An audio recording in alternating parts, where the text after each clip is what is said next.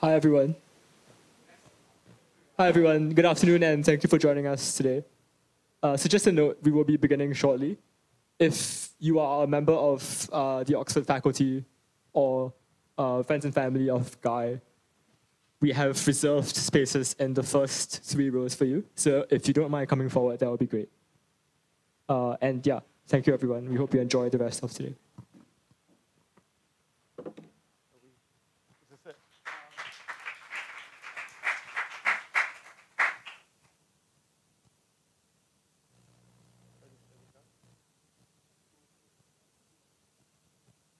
People thought that might have been an introduction.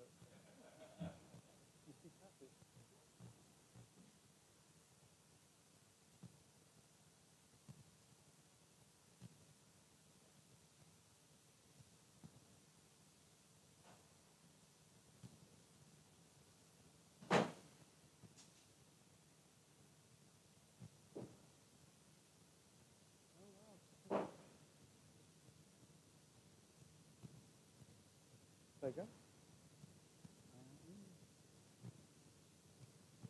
Thanks for giving me.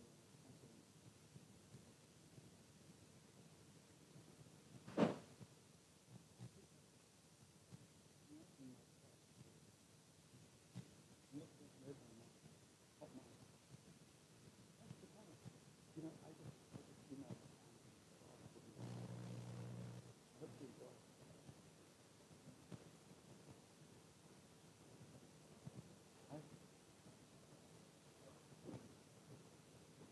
I might as well ask now.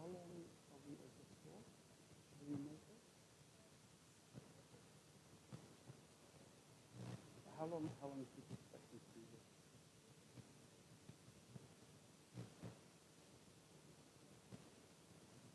Yeah, I think I don't want to talk for more than like uh, two minutes. 20, 20, yes, 25 maybe. and discussion. Yeah. So are, are we waiting? Do I just hang out and wait until somebody starts? You don't look like a student. Is that right? You- you're here to see if I have anything to say. Oh, great. Are you the boss at which college? Corpus. I'm staying at Corpus, by the way. Yeah. I made a donation already. It's lovely. Very nice. It's nice room. 12, 12 ground floor. Yeah, yeah, very nice. No problem at all. And uh, but, and then so uh, one of the students organized it for me. And he's and Miffin. So I so I said, well, what would a hotel cost? And made a donation. And um, and so the bursar or somebody gets in touch with me and says, we don't have you on our list. Could you just like remind us what year you were in? I mean, it was good. It was fine. No, yeah, yeah, no, but it was it was fun. I enjoyed the interaction. Well, anyway, I hope I'm, I'm I hope I helped. Say again. Where? I'm there, but I'm there for free. Yeah, yeah. But I made it. I made a good donation, so the college is making money on it. Pardon? I uh, no, I know, but I, I made I confessed to Brasenose that I was um, I was unfaithful, and, and they they've forgiven me. Yeah. So it's pretty special for me to be here. Yeah, it's pretty special. So my my wife and son are here, which is hilarious. So. Uh,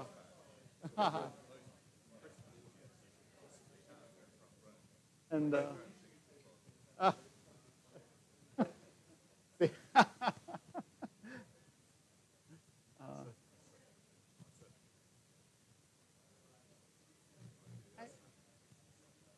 Which one? Yeah, you, you, so you'll be able to stand up and say this guy knows nothing. No.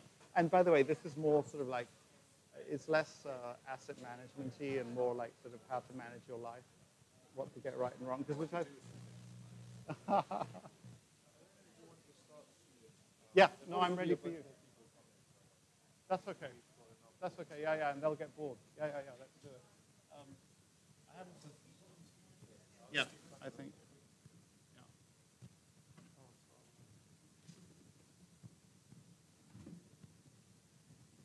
Okay, um, hi everybody. Um, so we're going to start our, our talk today by uh, Guy Spier. Um, but first I just wanted to introduce you, uh, you all to the, to the Oxford Alpha Fund and then obviously to our speaker. Um, so the Oxford Alpha Fund is the investment society at, at the University of Oxford. So we primarily specialize in fundamental analysis of equities and we recently started a quant division. Um, yes, um, but in terms of our speaker, so you know, we're, we're delighted to welcome Guy Spier here today. Um, many of you might know Guy Spier um, as the person who spent a considerable fortune on, on lunch uh, with, with Warren Buffett, uh, where he claims that uh, he became a true value investor. Um, he also manages the Aquamarine Fund, uh, a fund based in Zurich, which focuses on long-term capital appreciation and uh, value investing. And um, in terms of why we're here today in Brasenose, Guy is obviously uh, an alum uh, where he studied PP and graduated with a first class degree. And also did tutorials with one of our more recent prime ministers, David Cameron. Um, but without further ado, I would like to um, invite all of you to welcome Guy Spier today to give a talk on investing at a time of tectonic shifts. Can you, can you hear me? Does the mic work and everything? Yeah. So it's a real pleasure and a privilege to be here. I'm slightly nervous. We've got a bursar of a college here. We've got my son. We've got some friends and teachers who live in Oxford. And we've got a bunch of students. So uh, hopefully I will um, uh, be worth your time. My plan is to speak for about 25 to 30 minutes and give you plenty of ammunition to ask questions. So by the time we get to the end of 20 to 25 minutes, I could also go on for an hour, but I think that some of you will lose interest. And so be prepared to hear things that you disagree with, uh, questions you want to ask. Uh, the more challenging, the better, and start making notes now. And the one other thing that I would share with you is that I think that the benefit of having somebody like me here is not because I have anything specific to teach, but because I can serve as an example of somebody who is further down the road to where you are. And hopefully, if I'm open and honest and share enough with you, you will have an example in your mind that will enable you to make better decisions down the road. And so, with that in mind, uh, my talk, I think, probably has less to do with investing and more to do with life. I titled the talk uh, Investing at a Time of Tectonic Shifts because I thought it would get the most students here, in part. Uh, but I also think it's extraordinarily relevant. I don't think that when I was here at Oxford, uh, I felt that the, the ground was moving underneath our feet in the same way that the ground is moving today. Uh, whether that is climate change, which for me, the best analogy is it's a bit like an asteroid that's moving towards planet Earth. We don't know what the impact would be if it actually hit, and we really ought to try and avoid that impact. But as we've seen, it's particularly hard to get a whole bunch of countries with different interests to uh, coincide and take global action. It's also deeply unsettling to see when, when I graduated in 1989, the United States or the West had just won the Cold War. And so we would move to a unipolar world where the West had won. And now we live in a world where a rising China makes it very clear that an authoritarian method of running an economy is the way they plan to continue, which is deeply, deeply unsettling, I think, to those of us who are being educated in the West. And so if you came here with answers, I don't have any grand theoretical answers, but I do have some really important answers about how I plan to live my life and how I would might live my life from your perspective and some of the mistakes that I made along the way, and maybe you won't make those mistakes. Um, and so just a little bit of, how many people here went to Brasenose? So just a few. Uh, I came here and I studied law. I hated law. I was miserable. I spent a lot of time in the Stahlhelm Law Library, pounding through case law. And, and then when I think about it now, uh, I, I realize that there are a number of times when my engagement with law studies, which I hated, uh, were super valuable. About four or five years ago, a company that I had an investment in was dragged through bankruptcy court against my will in a way that uh, came as a total surprise to me. Uh, a number of vulture funds had gotten hold of this company's debt and engaged in actions which were legal but not, not kosher, if you like. And I think that my actions were grounded in the fact that I'd studied law for a couple of years. Uh, they were grounded in the fact that I'd uh, engaged sufficiently with the academic work here to give me the confidence to lead an equity committee for a year, which didn't get me, we, we didn't get anything at the end of the day, but at least I led the equity committee well. Uh, there are just a couple of other uh, memories that I'd like to share with you. The room up there, which I don't remember what it's called, was the site where we studied Roman law with a guy called Professor Peter Birks, who's no longer around. He used to come down from the University of Edinburgh teach Roman law. And again, I think that at the time I spent, I, I thought quite a lot that uh, it wasn't really very useful. I think that living in Switzerland, uh, the background in Roman law, Swiss and European law, is kind of based on Roman law. It gives me a far better understanding of the legal system that I'm operating in. I guess what's my point to you?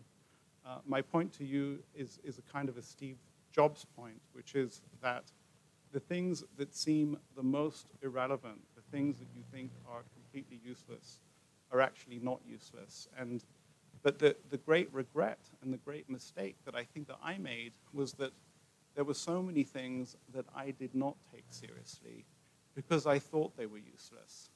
And I didn't realize that what was happening was that every single bit of stuff that was being put in front of me, whether it was literature, whether it was law, whether it was some stupid economic model that would not apply in the real world, was actually giving me a little bit of something that I would be able to draw upon uh, later in time. And so if any of you here are cruising, I very, very strongly urge you not to cruise.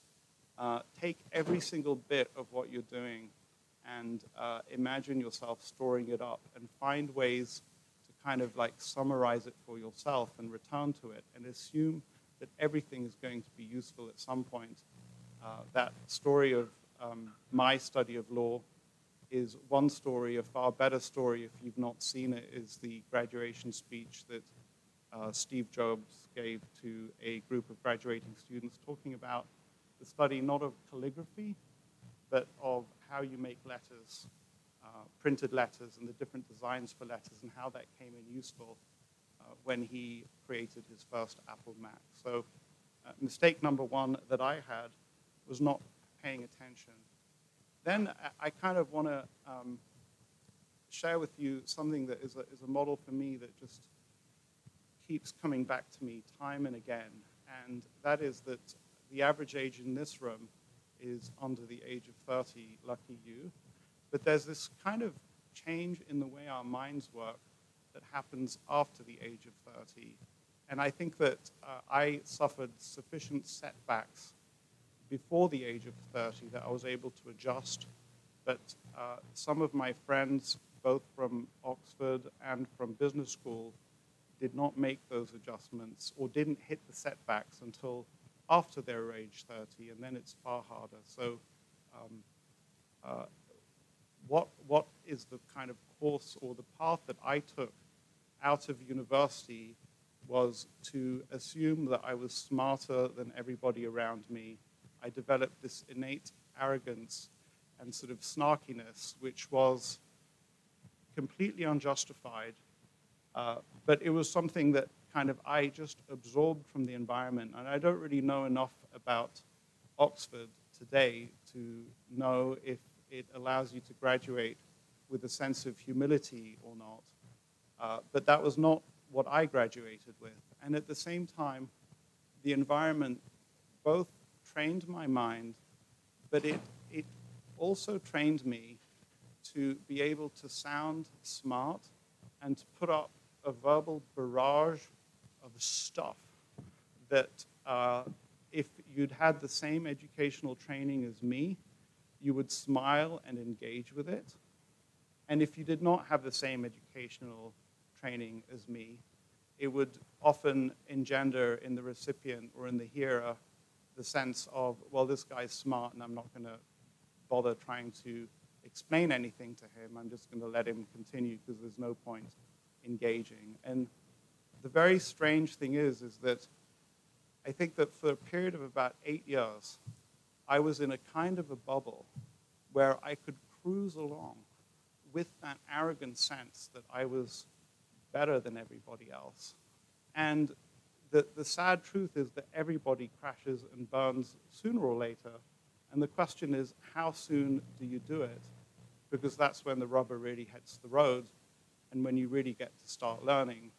In my case, that happened around, well, in the job that I took after business school, which is written up in the first chapter of my book, which I have no expectation for any of you to have read, so it's okay, uh, where I took a very bad choice, and there were plenty of understandable reasons why I made that choice.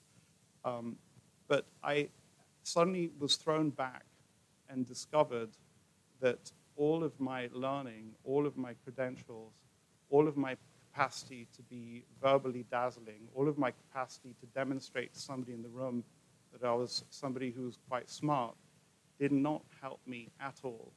And I was looking around me in this uh, bank, uh, which felt a bit like the bank in Wolf of Wall Street. If any of you have seen that movie, literally, I made a really bad choice to go and work there.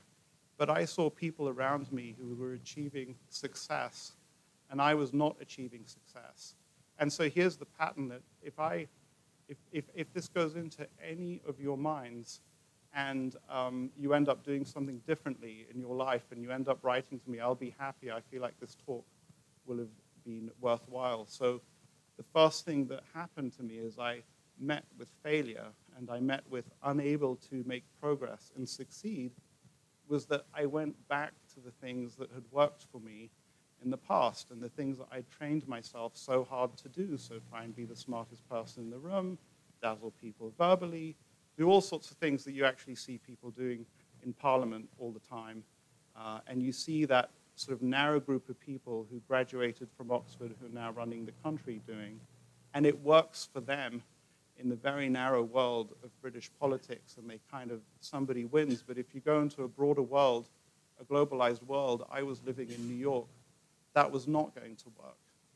And then I think that what's fascinating, I need to pause and welcome our principal, John Bowers. He wanted to sneak in, but it's a pleasure and a privilege to have you here. He's going to walk out in a minute, which is going to sound like a vote of no confidence, but I want you to know that he told me beforehand that um, he's going to have to leave at some point. So, uh, so there I was at, I feel like I need to, if it was anybody else, I wouldn't, I wouldn't do this, but I feel like because it's the principal, I need to summarize where I've gotten to so far. But I'm talking about all my mistakes in life.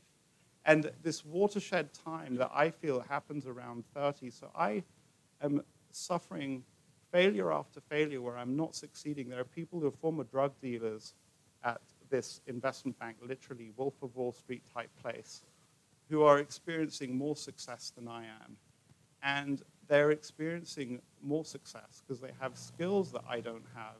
And they uh, did not spend their time training their mind in an academic environment. They were trained in a very, very different way the rough and tumble of a not very good Wall Street firm, the rough and tumble of sales, the rough and tumble of marketing. But I just wanted to go back to what I knew. And uh, the only way I could have really genuinely gone back to what I knew would have been really I, either to go back to the UK, where uh, people would have been impressed with my credentials and the way I spoke, or perhaps to go back into an academic environment. But I can say that age uh, uh 27, 28 was when I really started learning the skills that I needed to learn. I believe that if that had happened to me three or four years later, I may not have really acquired those skills because my mind would have been become too set in its ways. And so what's my point to everybody here is that don't wait until you're 27, 28, 29 because it may end up being too late and you'll become kind of, and you're getting an incredible and extraordinary training here, but there's a whole bunch of stuff that's being left out uh, that you will never learn here that I'm going to try and share with you as I look down at my notes and see what's next on this talk. So just a couple of other mistakes for me. Um, uh, if I look back, so my children originally studied in Montessori schools, and I think that one of the most incredible things that Montessori education teaches you is not to fear trying something, even if you may not get it right away, and you sit in classes where the kids might be two years older than you, and that's not a problem, and you look to try stuff out and learn. I think already by the time that I got here, I had this enormous fear of failure and an enormous fear of uh, not looking good in front of my peers. I just wrote a review of this book, uh, Chums, that was written by Simon Kuper, where I describe how I never once spoke at the union. Uh, and, and I was utterly uh, made scared. I was fearful of speaking in front of some of these great lights who are now running the country. And I just, it's what an extraordinarily dumb thing. Uh, and, you know, I think that it is inevitable that if we have any amount of success in life, we will get ourselves into environments where there's fear of being an imposter, fear of being made to look stupid, fear of people laughing at us uh, because we tried and did not succeed. And uh, I just want to share this thought with you. I think this thought applies to me today, is that um, the, the, it's, it's not, I mean, it's, it's, it's a well-known phrase, but it's, it's not that the, no, the, the measure of our success will be the number of times we put ourselves in a situation where we're willing to fail and look stupid.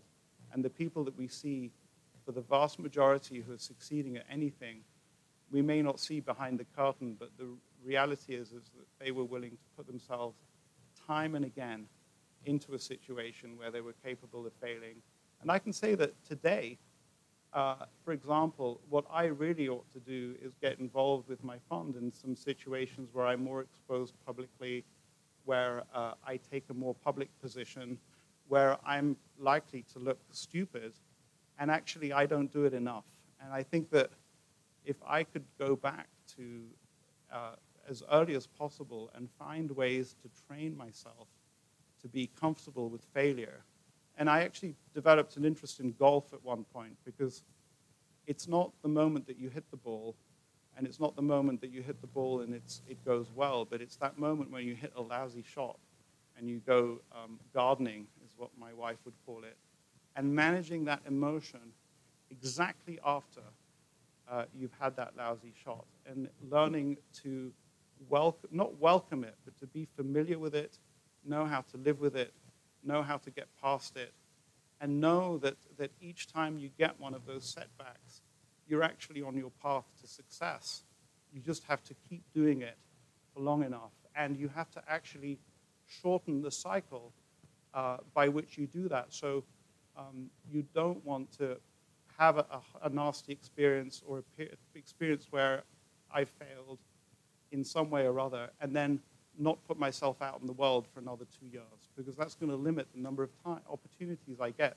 By contrast, those who I've seen are successful are the ones who they, they go straight back at it, and they're increasing their probabilities of success and learning just because they're getting uh, more of those. Uh, you know, one other, uh, uh so why did I go and work at this snake pit in New York City?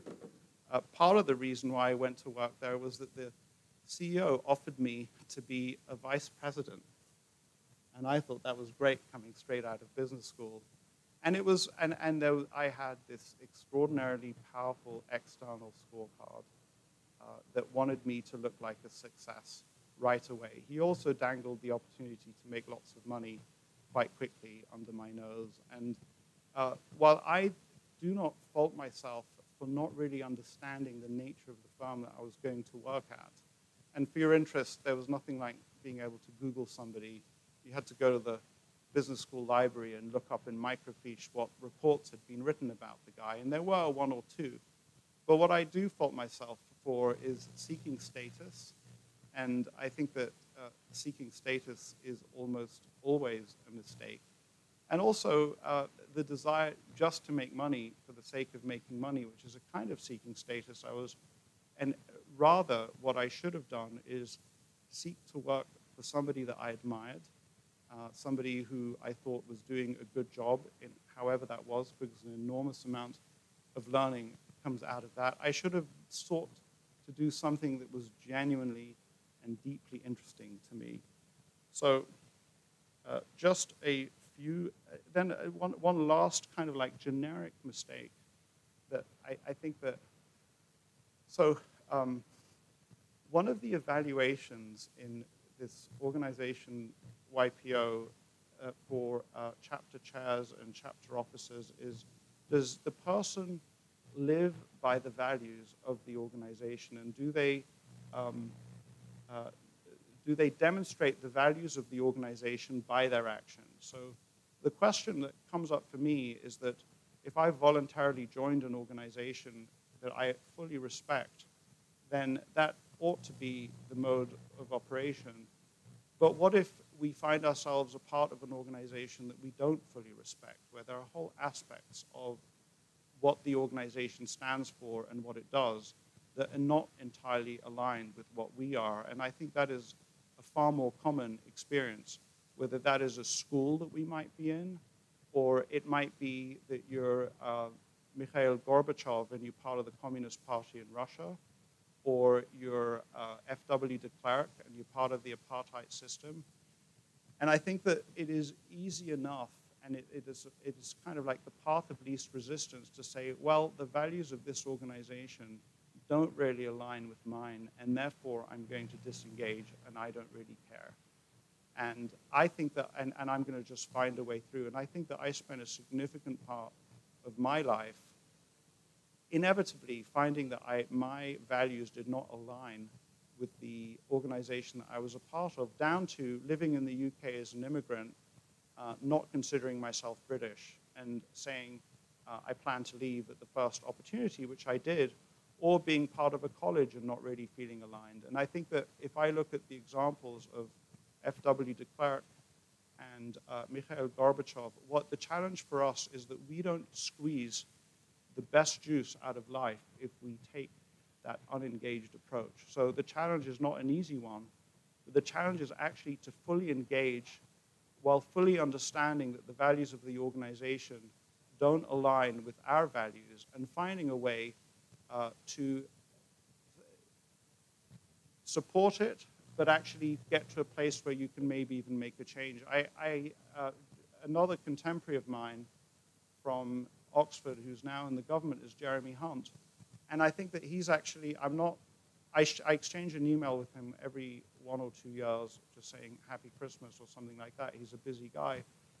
And, but I think that he's actually done a really, really extraordinary job at doing that in that he was against Brexit, uh, but he, he found a path to be a part of the government when many people like Rory Stewart left the Conservative Party. He, he bided his time, and I think that it may be that right now he's making a huge difference to the future of the country in a way that maybe nobody else in the Conservative Party could. I'm not saying so that is an extraordinarily, that, that requires enormous amounts of intelligence, enormous amounts of ability to kind of carefully analyze and think through what is going on and what moves you want to make. I'm, it, I have not had this conversation with Jeremy, but I noticed that his father was an admiral in the British Navy, and I suspect that through many conversations with his father, he's kind of learned to have that nuanced approach. I think that if I think of the institutions that I've been part of, there are times when I've been utterly disengaged. When I was at business school, I was utterly disengaged. I had a lot of kind of almost disrespect for the institution because I thought that everybody was stupid and this was just a country club. That is not a way to go through life. I would have, I didn't take the academics seriously. I took the socializing quite seriously. But that is the way to go through life is to find a way within ourselves to embody the values of the organization, even if we disagree with so much that the organization stands for will be more effective. So I got through my first page of notes here. I should tell you I'm, uh, I have, uh, I've been diagnosed with ADHD. I take 20 milligrams of uh, Vyvanse or Elvanse a day, but I left my original set of notes at home, so, but it's okay. I uh, rewrote them. So I just want to go to that period of my life where the rubber hit the road and change really, really took place. Because I think that, um, I don't think that there will be the same tools for you if and when they happen. But perhaps by hearing a little bit of my story, then you know it will wake up, open up chakras in your minds that will enable you to take better decisions when the time comes. And just to be clear, I've decided not to pursue an academic route in life, and I've gone to business school, and now I've graduated, and I want to make money, and I want to have status. And I've gone to work at a place called DH Blair, which is really just like the place Wolf of Wall Street, and the ethics there are terrible. Uh, the place was shut down about five years after I left by the authorities for having violated all sorts of security rules. Uh, they were um, taking ad advantage of widows and orphans. It was not uncommon for me to be in the elevator, and my office was on the second floor, and the brokers were on the 14th floor. And there were women who were scantily dressed, who were certainly not going for a client meeting on the 14th floor. It was pretty, pretty gross, and you can ask yourself, and I asked myself why I stayed there. But I was kind of, I felt like I was caught in a bind because um, if I left, I would have nothing to show for it. I, I, went, I made a mistake, and I wanted, I, I had commitment consistency bias, and I said, uh, I need to come out with some kind of prize, something that uh, says that I've made a success of this, which was actually a very bad idea. What I really should have done and if I'd have learned to fail better, I would have been able to say, well, that was a mistake, uh, put my tail between my legs, accepted it, told my friends, and moved on to whatever was next with the very damaged reputation. And just to give you a sense of the damaged reputation, if somebody goes and, you know, the question that people are asking now about uh, Bankman Fried or anybody who was around him was, uh, well, assuming that it comes out that there was fraud, which I suspect that there was, was anybody around him, were they either in on the fraud and making money with him, uh, or were they too, too stupid to realize that there was fraud going on? Either way, I don't want to have anything to do with anybody in his circle. So by going to work at this firm, DH Blair, I had um, either created, I created a situation where somebody says, well, why did he go do that? Either he was part of the system and he was somehow making money out of it and he just fell out with these people and now wants to leave, or he was too stupid to figure out what was going on. Either of them, not good things. And at that point, all my academic credentials, uh, all of my capacity to be verbally coherent and dazzle people verbally, to win arguments, none of that was going to help me. So what did help me? And um, so I, I want to start with a figure that is controversial, but he really made a huge difference for me is this guy, Anthony Robbins. I don't know if anybody here has experienced Anthony Robbins, but uh, Anthony Robbins is a motivational coach. And I think that why I, I say it hesitantly is that he doesn't always walk his talk, but I found that the ideas that he had for me were extraordinarily powerful in that he taught me that how I feel about any particular circumstance in life has got nothing to do with the external world. It's how I'm reacting to it. And I can choose in any moment my reaction, and I can train myself to react positively to negative things that unfold. And I, I don't understand why it took me so long for that to uh, come out, but, but it was the first time that I experienced it. And in a certain sense, you know, if, if there's only one thing that we ever have to learn in our education, it's that when bad things happen, we don't have to feel bad about it. We don't have to feel like we're failures. So I went to multiple seminars. The seminar was called Unleash the Power Within. And I literally, and I started realizing that I had to get out of my head and retrain myself in a kind of a physical way because when we experience failure, it happens to us physically. It hits us in the gut. So it's actually not an intellectual thing. If we go into the mind, it doesn't help us. And what we are all taught at the world's great universities is to solve every problem by going into the mind. And you know, there are problems that, like what I was facing right then, that going into my mind wasn't going to help me. So I just wanted to put that out there. And exactly the, so if you would have had me just graduating from Oxford, if you would have had me attending seminars by an Anthony Robbins, I don't think that, uh, I, I, don't think I would have done it. I would have poo-pooed it. I needed some distance, and I kind of will feel good if, you know, you, you see things that can teach you stuff, and just because they don't have the right academic dressing, uh, they're worthwhile things to learn. Um, I want to share three books that, again, when I, if you read them straight, if you, they're probably not even in the library here, and they're kind of tacky, but on another level, they, they taught me a lot. So, so one, the title I've got, so somebody's writing down notes, that's good. Um, one is by a guy called Napoleon Hill, and it's called Think and Grow Rich. Uh, and it's, it's really extraordinary and surprising, but, but that book helped me a lot, and I've read it multiple times. Uh, another one is by a guy called Dale Carnegie. Don't forget, put off by the title, How to Win Friends and Influence People. And that changed the way I approached people in an extraordinary way, and maybe in Q&A we can get into more. Uh, and then there was a third book that I'm going to refer to, but I don't see it on the page, so maybe I won't. won't. Um, but I want to share two more points, and I just want to tie this back to why this, what has this got to do with investing at a time of tectonic shifts? So uh, I could come here and give you a whole bunch of theoretical mumbo jumbo that will dazzle all sorts of people, especially if I'm in an institutional environment trying to raise money from some fund and I can come with some theory on inflation, on some theory on what businesses will succeed uh, or where uh, the uh, investor's money should be invested right now for the optimal investment success. And I do have a lot of ideas, and I have to have some working thesis about where the world is going. And I guess I, I will share just a few of them right now to just sort of like those of you who thought you were coming to investment talk actually get something related to investing. Uh, but then I'll go to kind of like two more kind of killer apps that I think, because the world is far too complicated and the there's too much going on and there's too much that I can't predict, that we can't predict, that will generate success.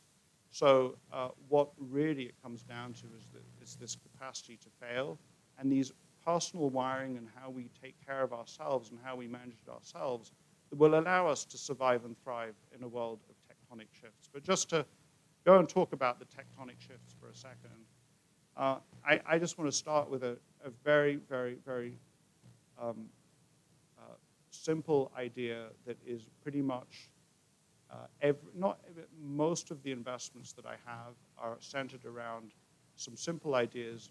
Jeff Bezos has said that in a world where everything is changing, look for that which is not changing. And there are some things that don't change.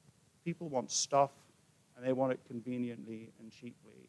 And if you have a business that can deliver stuff to people ever more conveniently and cheaply, as Amazon does, then you've got yourself a winner. And probably a third of the ideas in my portfolio are simply uh, investments where I can see that the company is committed to delivering stuff to people that they want at uh, uh, an ever cheaper price. And they're, they're dedicated to finding ways to do that. Amazon is an example, Costco is an example. Uh, the other thing that happens to people that, and this is not changing, is that as people become rich, and there's lots of rich people, or people, lots of people around the planet becoming richer, they look for increasingly um, expensive ways to make themselves feel special. So I know that there'll be many people here who think that a Louis Vuitton handbag is a waste of money, but it's actually less expensive than a vacation, and it lasts a lot longer than a vacation, and makes the person who's bought the Louis Vuitton handbag feel absolutely great about themselves. Uh, or you could go all the way to a very expensive Ferrari, which is the male version of stiletto heels. I understood from my wife, whom I love very much, who's sitting here, uh, that uh, at a certain age, wearing high heels makes a woman feel fabulous. And pretty much at any age, owning a Ferrari, not that I've owned one myself, I just own the shares, makes a man feel fabulous. And I think that what's fascinating is in spite, I, I think that those, those kinds of aspects of human nature are going to continue through time. And when I, if you look at the universe of possible investments that I can make, I kind of focus on the two or three percent of the opportunities that represent, you know, those are the two, two of the big ideas. Uh, one, one third idea is that people like certainty and they like to save time. And uh, brands save people time and give them certainty. But I can dive into that. Uh, just to go back a little bit to the many models of the world are being pushed into our heads or hopefully being absorbed by us. You know, I started this talk by saying that I did not pay enough attention to all the things, even though I thought they were useless. You will not believe when patterns that you've learned in a stupid legal text or in some biochemistry class actually come up useful, and we want to have uh, our minds working around them fast and easily. I think for the vast majority of time, what happens to me in the world of investing is that people come up with these cute ideas and I can discard them because I've spent so much time maybe studying them in academic environments. Having said that, you need a working hypothesis. Those are some of my working hypotheses. Uh, I think it's unfortunate that we're going to a multipolar world. I watch China extraordinarily carefully. Uh, and uh, all of my investments that are China related are predicated on the idea that the Chinese leadership will behave rationally. And I have no guarantee in my mind that they will behave rationally. But I, I, at the end of the day, if you ask me to throw the dice, I believe that they will. There's no guarantee. China does not have the capacity to reboot itself the way liberal democracies do. China was the richest nation uh, in around the 15th century, but did not successfully reboot until about uh, 1989 or so, uh, when um, Deng Xiaoping came along another tectonic shift that I'm super excited about is the rise of India. Uh, India is quite closely allied with Russia, but I, increasingly will be less so, and I believe that we have the makings of a country that will support the liberal, rules-based international order view of the world rather than the Chinese view, which is something different that we're just going to have to learn to live with. Um, I'm still trying to come to grips with what climate change means for me. I can't say that I have made any significant decisions inside of the small microcosm of a world that I operate in to uh, have an impact on climate change. But you know, one, um, I, I gave the analogy, there's no doubt that if a asteroid was heading towards Earth with unknown consequences, we'd hopefully get together as a planet and take action to avert the worst, and um, we're not doing that with climate change. I know that I'm called upon to do something, I'm just not sure what. So I just want to leave you with two kind of killer apps, which, because, I, and I wanted to touch on those just to make you feel that you learned something or you heard something investing related.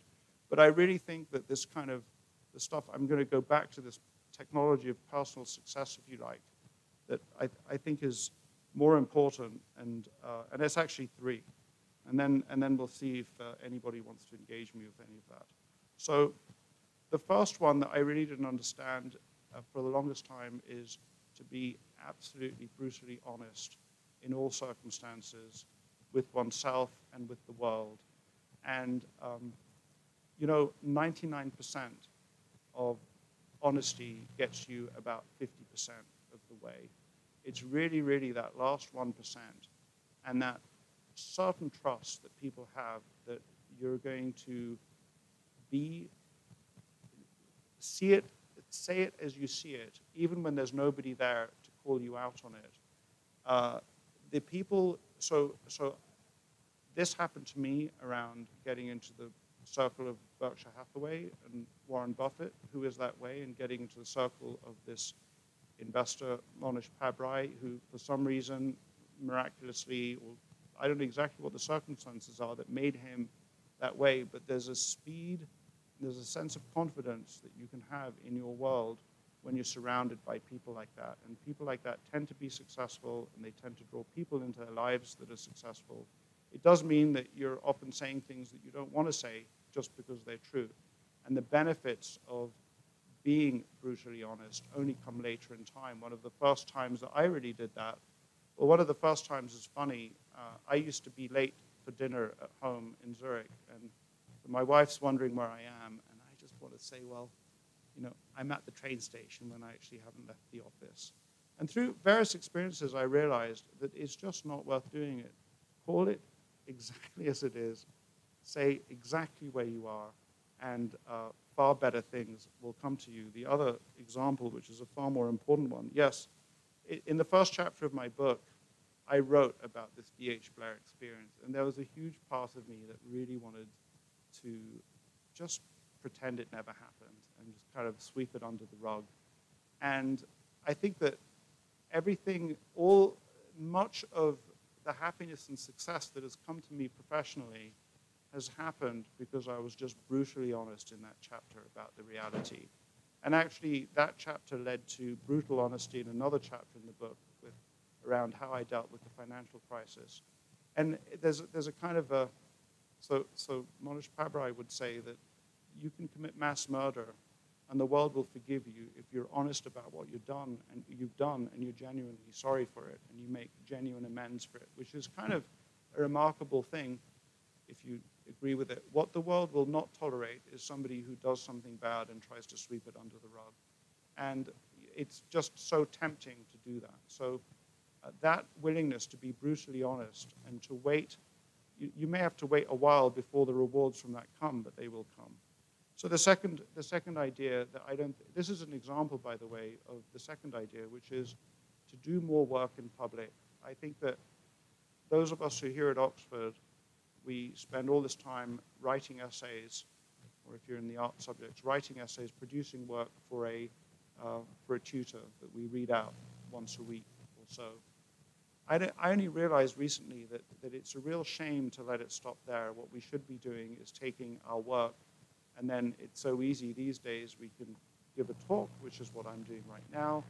We can share it on a blog. We can tweet it out. Uh, so the minute we work in public, first of all, we have to overcome the courage. We have to have the courage to suck.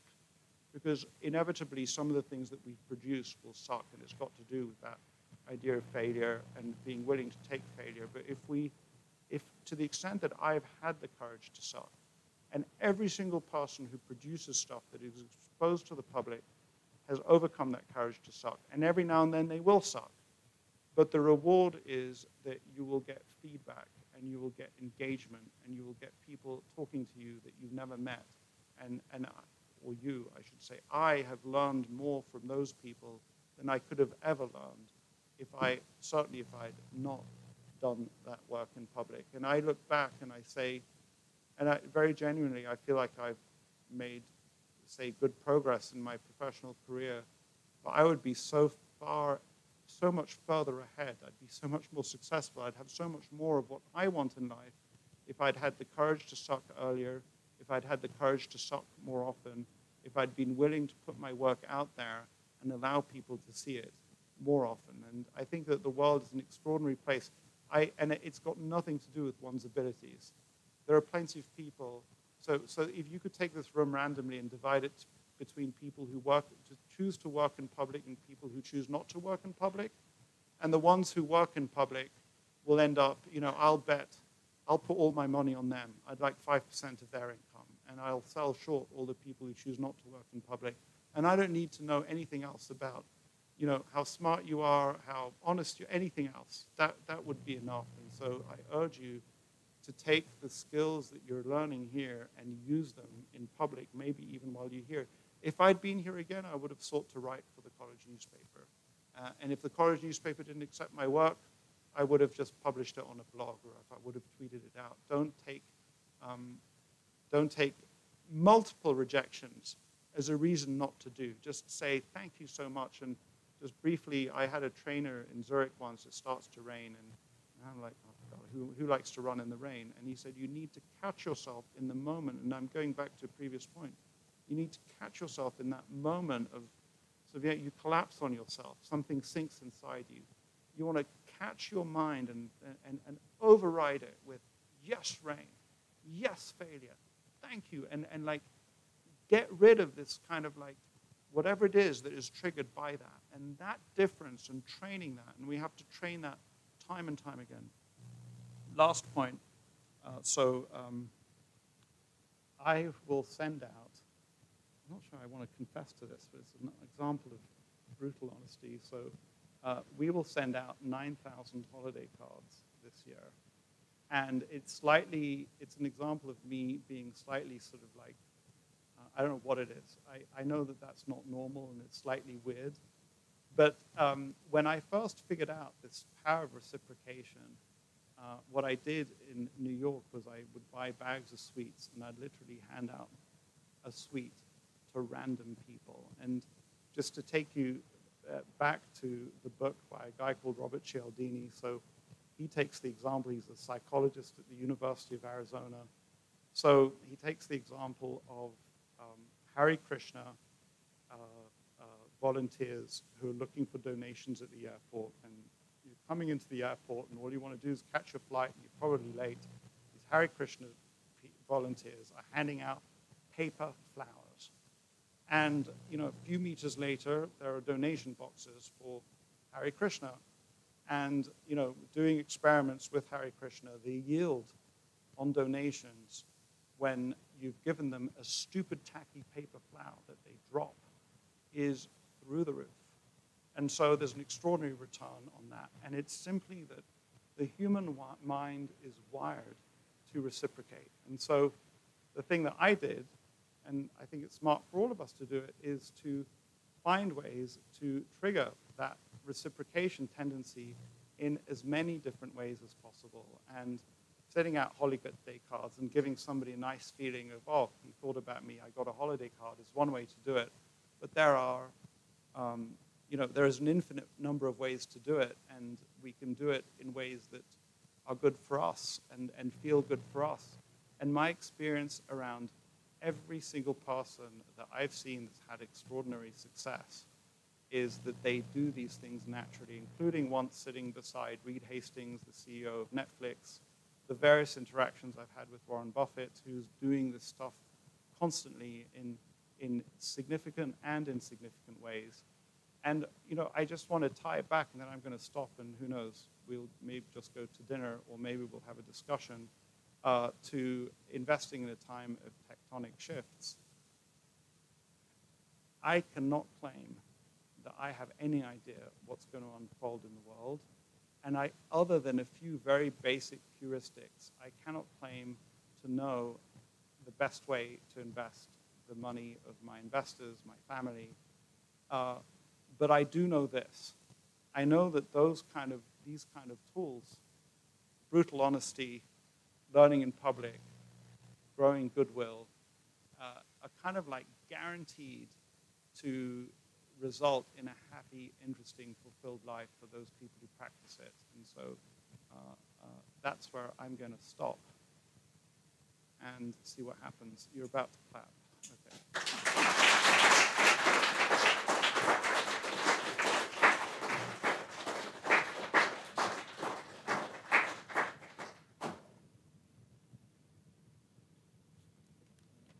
I was going to sit down here.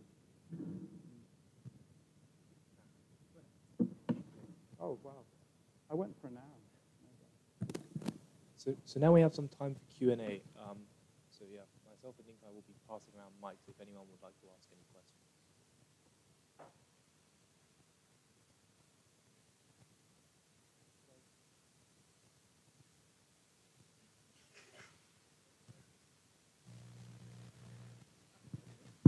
Well, hello there. Uh, greetings from Austria.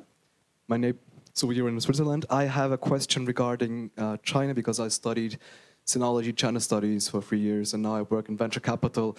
Um, when it comes to your honesty, how would you tell your investors that an investment in a Chinese company turns out to be more connected to the Chinese government than you expected it to be? How would you react to such a situation or how would you deal with it?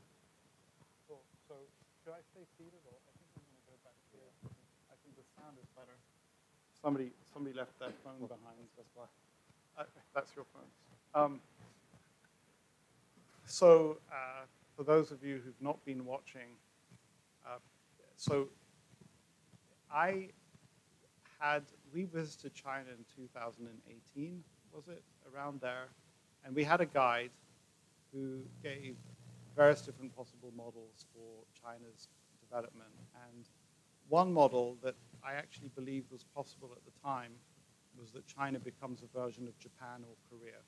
So basically, it joins our Western rules-based international order that um, we're so proud of. We're working hard on it, and it's violated all the time, but we're proud of it. And I think that it's way better thought out than I ever thought, expected it to be. And when I kind of study it, you know, going from the Peace of Westphalia and the, the rules that were thought out then to other rules on the law of the sea and how we allow uh, superpowers, even powers with nuclear weapons, to kind of figure out a way to live together through these international bodies is actually extraordinary. China has no interest. China is never ever going to be, I believe now, a fully fledged member of the rules-based international order. You know, uh, a, a, statement that it was Kevin Rudd, former uh, Australian Prime Minister, who said um, the Communist Party of China won power through the barrel of a gun, and it makes no apology for that. And that's kind of like just simmering below the surface. It doesn't have origin stories of we the people came together in a constitutional convention to decide how we're going to run this country that we've just won, which is only two is a model that's only 200 or so years old. And so I think that I, I do have two investments in China, and it seems to me that many of us, including me, were blindsided by some of the actions that the Chinese uh, took with regard to one company called Alibaba, uh, and and many many of and there are many interpretations of exactly what they did and why they did it. There are some arguments that say that actually the Chinese government is acting in the interests of the Chinese population and they're doing things that people in the West would love to do. They regulated tutoring colleges, which are kind of a way for Chinese students, rich Chinese students, to jump the queue in admissions. And some people in the West said that's great, or they regulated uh, some, what some people said were market abuses by the gaming companies and this Alibaba, which is kind of a version of Tencent. And then there's another aspect where people just say they behaved in a totally autocratic way. Uh, and so I just, I mean, I guess how do I do it? I talk honestly about it the way I am right now, and that is about the level of my understanding. I don't claim to have any far deeper understanding of it. Uh, the only last thing that I would add is that I think that a lot of mistakes can be covered by um, position sizing. So I have to be careful to size my positions relative to what might happen, and I'm inevitably going to get that wrong. Uh, I think that I've sized my positions right in China, although one position is giving me, in a certain way, huge problems because it's appreciated so much that um, I don't want to trim my roses and water my weeds. At the same time, if it becomes 25% of the portfolio that I run or 50%, at what point do you take money off table? I don't know if that's helpful, but I appreciate the question.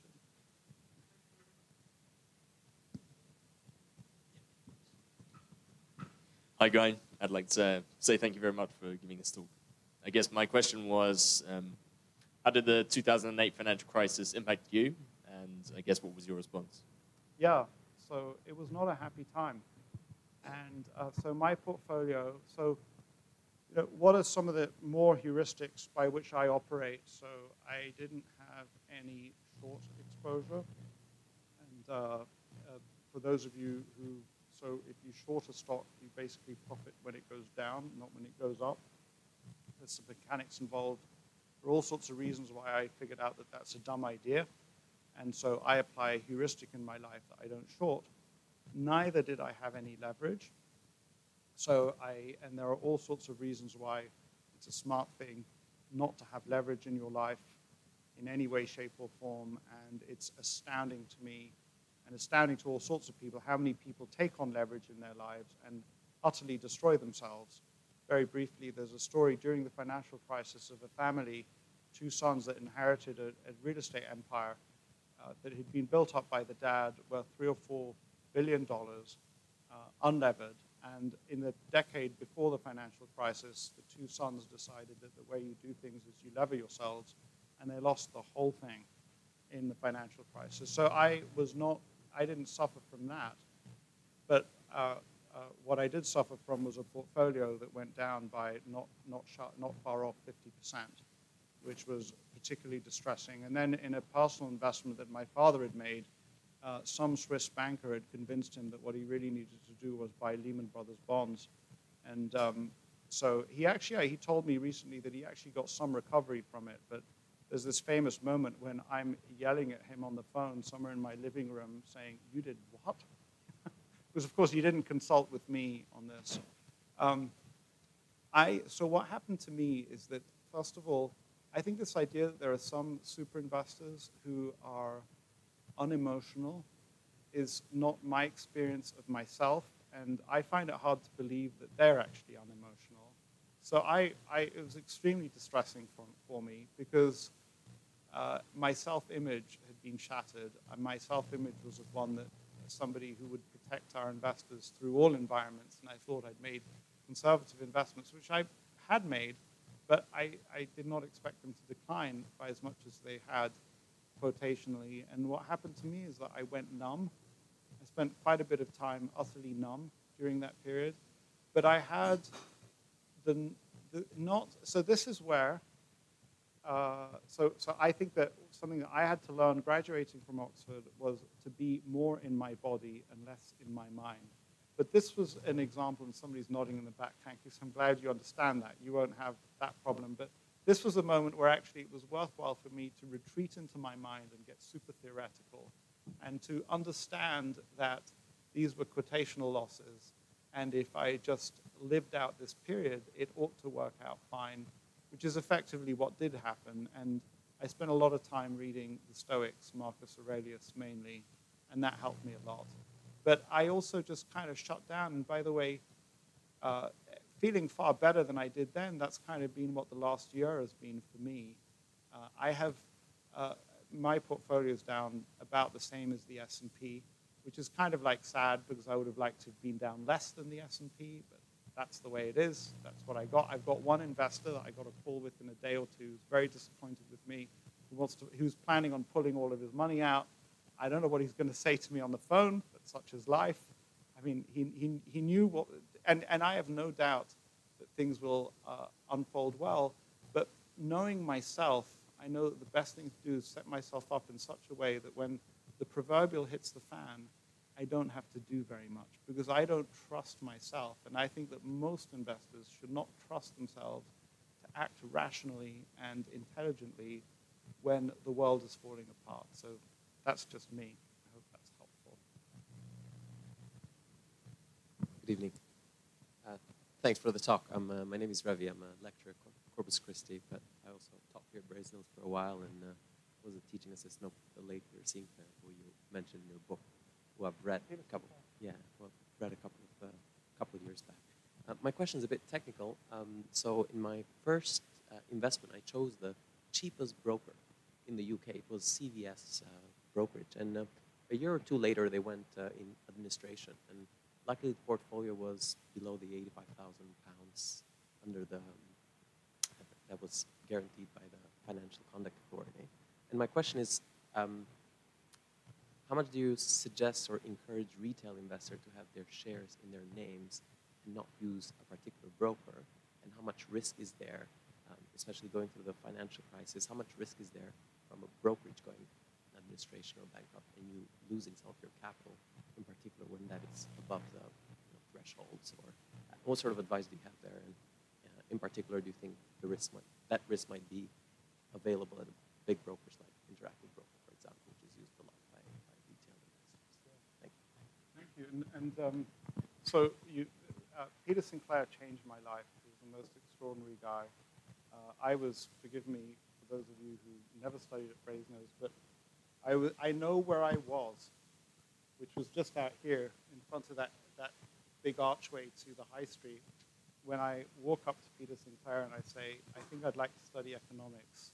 And I was a law student at the end of my second year. And Peter Sinclair, who I had never spoken to in my life, was just this guy who smiled at everybody in the quad. And he had these really, really sort of this kind look for you. And, and, and I don't know what he did, but he, he just said, well, well, that's a nice idea. Why don't you come and talk to me for a bit? And then he fought some battle in college for me to, because it was just like very unusual to switch subjects. And I, I, I very sad. He was lost to COVID. He was one of the first people to, to be lost to COVID. But um, so, uh, but you've brought up, and I presume you're in economics. Uh, so you know, you have the life that I wonder what would have happened if I got on your path, and I, it's part perhaps of why I'm here. Um, so he brings up a really good point, which is none of this counts if your assets are not safe and uh, all those poor people who thought that their crypto, I don't know what the crypto's worth, but it's definitely worth nothing if you had it deposited at FTX.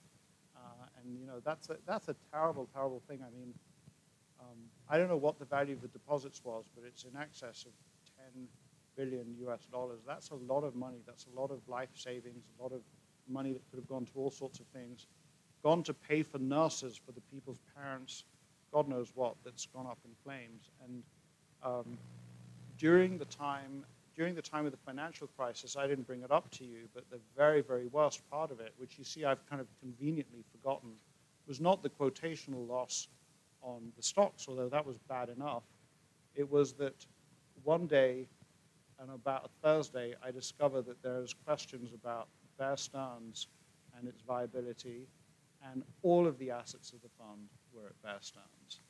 And so uh, I had an extremely unpleasant weekend where I was worried that on the Monday morning, what I would be doing is hiring some kind of bankruptcy lawyer to try and get our assets out of Bear Stearns. And I literally, well, I've had the opportunity to thank him in person. I was on this call on the Sunday afternoon at 5 p.m. when JP Morgan announced that they had agreed to buy Bear Stearns and J.P. Morgan says the words that seared on my brain, I'll never forget them. Come Monday morning, Bear Stearns will be open for business. Bear Stearns has the full faith, credit, and backing of J.P. Morgan. And I was like, I mean, the, the sigh of relief that I had was just enormous. And my heart goes out to you because when a broker is, when you're suddenly worried not about return on capital, but return of your capital, um, I believe that individual investors especially should be able to invest in institutions where that is just not possible and that they are well enough regulated that they cannot get themselves into a situation where they fail. And I'm shocked. I did not know that there was an institution in the UK that failed in that way. And what usually happens is that there's kind of a guarantee up to a certain value of the account, but beyond a certain value, there is no guarantee, and effectively you lose money as a creditor of the institution. Um, so I, I, the, my only answer is it shouldn't be that way. And I spent, at the time of the financial crisis, I divided the assets of the fund in, amongst three different custodians because I just wasn't sure, and custodians in different jurisdictions. Uh, today, the assets of the fund that I manage are in a, a, a, the most extraordinarily boring bank that you've never heard of called Northern Trust, and there are one or two others like it because they don't have investment banking, they don't do lending, they do nothing. they just take care of your assets as a trust. Um, uh, I think it's unlikely that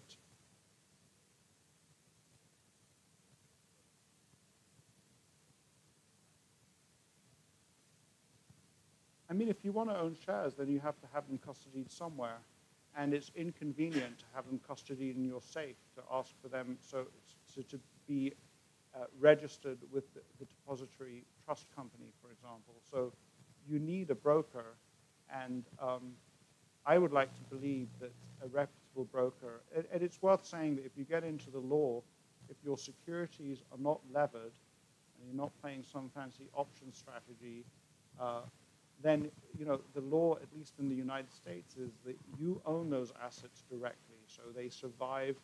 Your, you, you, it's not that you have a claim as a creditor in bankruptcy; you actually own those shares, Uh, but it depends on the law, and it depend. Often there are different entities where you know they've applied different contra- contractual terms.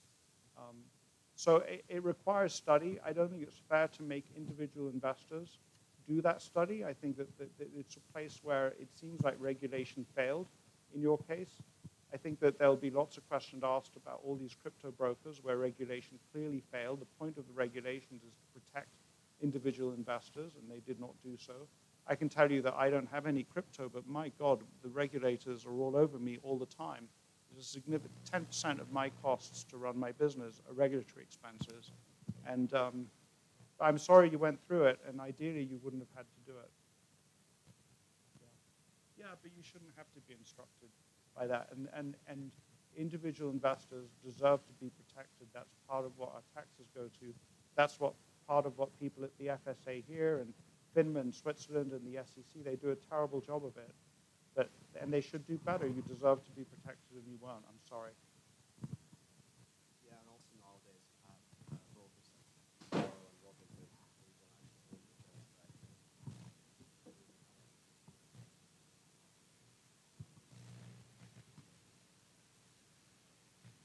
Yeah. Um, it's wrong. and, and I think that, I mean, there's a, there's a model that uh, you shouldn't be expected to learn here, but it's certainly one to take with us. And it, so I run an investment conference for a group of, I think, sophisticated, thoughtful friends in, in the mountains every year. And I think that the crypto craze took over literally half of that group.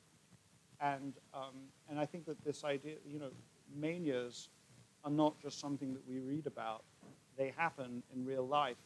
I think probably that we're at the end of a mania, and just in case there are any crypto diehard fans here, I'm not about to say that crypto is not going to exist ever. I'm not saying that blockchain is not a spectacular technology, which is kind of miraculous and genius the way it was put together.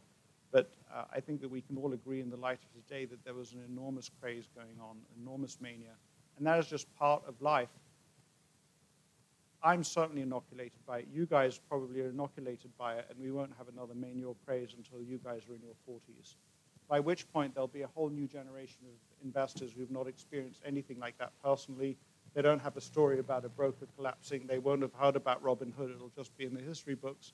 And then the whole thing will repeat itself. And, you know, if, if, if the power of reciprocation uh, is, is part of human nature, uh, then this is a kind of a negative part of human nature that we need to understand and sort ourselves in such a way that we're not exposed to it on the downside if we possibly can. Thank you for an excellent talk. Um, you spoke about your experience of working in an untrustworthy environment at DH Blair, and I was wondering, you know, how do you decide you know, when to trust people perhaps not to trust people, both in your personal or in your investing life? it's it's a spectacular it's a spectacular question, and um, and I don't think I'm very good at it. I think that there are some people who are better at it, and I'll and I'll share with you one step further about how um, uh, how difficult it is. Is that and this is really something that I can say is not just from a story; it's something that is true. Is that the the charlatans and the shysters will dress themselves up nicely and they will be extraordinarily well mannered and they will look good in a room. And they, they, they, in a certain sense, have to be. And the people who are truly deeply honest and deeply ethical will not necessarily present very well. They might be quite gruff and not very pleasant to deal with. They don't have to be because the people who know they're honest, the people who know that they're worth dealing with, know and will come to them and deal with them no matter how they dress and no matter what uh, exterior they show. So uh, the first impression can really, really deceive. And so what is the, so what, what are the, at the end of the day, the heuristics and rules of thumb for me? So uh, one of the most important ones for me is I try not to judge people based on physical appearance and based on a first meeting. And there's this famous idea that the first thought the first impression we have that goes in is the one that stays with us. And we, we don't want to rely on that. So I'm constantly asking if somebody wants to engage with me, you know, send me, almost knocked over the glass. Send me your, I'm so incredibly clumsy, I don't understand that always. Um, send me what you have. Send me your annual report. Send me your business plan. Send me your academic paper. Go, in a certain way, go, uh, go and find out what's behind them. Inform myself as much as I can on what they've produced. So if, if I, and, and you know, if I think that we all ought to graduate knowing accounting, but that's okay. Everybody here who's interested in business will learn accounting. If you have any entity that has been run by the same person or the same group of people for any period of time, and you start looking at their accounts, it starts becoming clear who's reporting in a clear and honest fashion and who's not. And one says, yeah, but their accounting rules, it's all the same. It's not all the same. There are all sorts of the decisions that will be made around the accounts.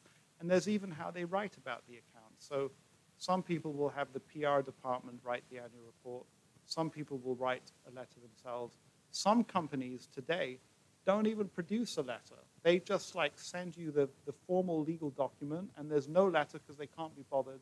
And they say, you know, go, go look at our presentation from the last quarter. That's all we've got. So those are all heuristics and clues as to what's going on. I think that the company that people keep, uh, and then, you know, to do something which around them and then see how they react and respond and pay close attention, to do something for them, to observe how they, they react in the environment. But I think your question is a really, really good one. I think that some people are better at it than others. I am aware that I'm not very good at it, and so I'm very interested in relying on the judgment of others. So I think that I got far better people into my life when I figured out that for one reason or another, Warren Buffett was better at it than I was. So if somebody came from Warren Buffett's circle, I was more likely to engage with them or if them not. And so, uh, and it, it's kind of a, in a certain way, a fun thing because there's no simple rule that allows you to win at that game in every circumstance in life. It's kind of, you just have to keep working at it and getting better over time, if you like. So but the fact that you've asked the question is already puts you, because by asking the question, you've acknowledged in yourself that you don't actually really know how. And there's this incredible paradox that certainly works in life, that the minute we acknowledge our own weakness, somehow it becomes a strength because we now can go to work on it. So you've, in asking the question, you're acknowledging that you don't know. And so now you, and it's a great, sorry, I'm kind of giving you, because you had the courage to suck by saying it or at least acknowledge inside yourself. And the minute you do that, you kind of solve the problem. You haven't solved the problem, but you're more than halfway to actually getting to the promised land because you now, hey, I don't know about this. How do I do it? Let's ask the question. Let's acquire knowledge about how to do that. And so, you know, good job. So something that I do, so in this, this uh, sort of holiday card list is that not everybody stays on the holiday card list. So the minute I identify somebody who's behaving in a way that I don't like, they may get dropped from the holiday card list. And so it's kind of like a sorting mechanism, and I'm constantly doing that in a thousand different ways. And I think uh, what I really regret is that I really started understanding and doing this when I was like 35 years old. If I'd started at your age, like if I'd had extra 15 years, my God, that 15 years makes a huge, huge, huge difference. I'll be in a very, very different place in 15 years' time. Just not because of anything special other than I'm keep working at improving my heuristics, the people in my life, the people in their lives. So, yeah.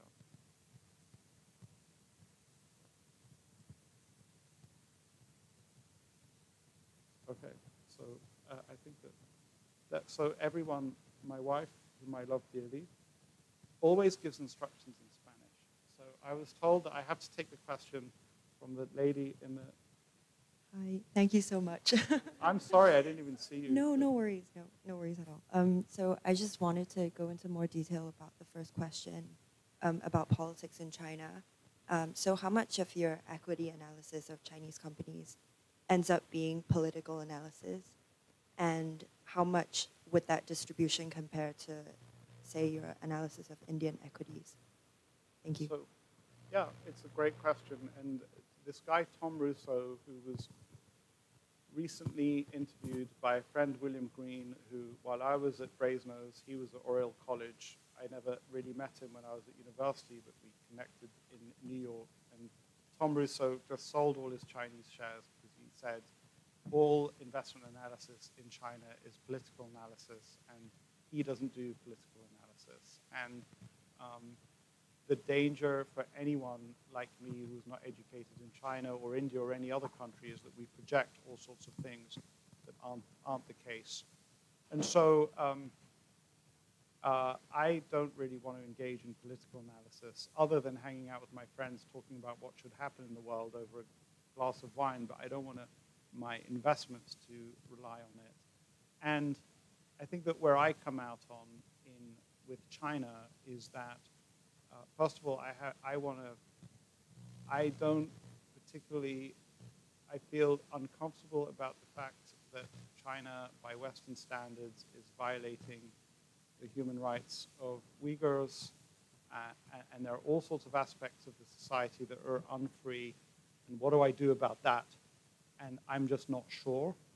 At the same time, uh, the Communist Party has lifted more people out of poverty than any government has ever done before in the past. They've achieved extraordinary things, and I think that one has to give them credit for that.